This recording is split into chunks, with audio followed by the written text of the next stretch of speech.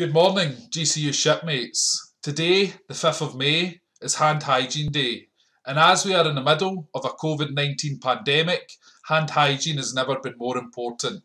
But it is clear that not everyone knows how to effectively clean their hands to prevent the spread of infections.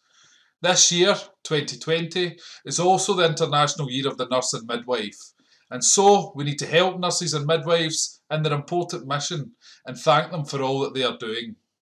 Your mission, should you choose to accept it, is to teach everyone how to clean their hands correctly using the World Health Organization's six steps.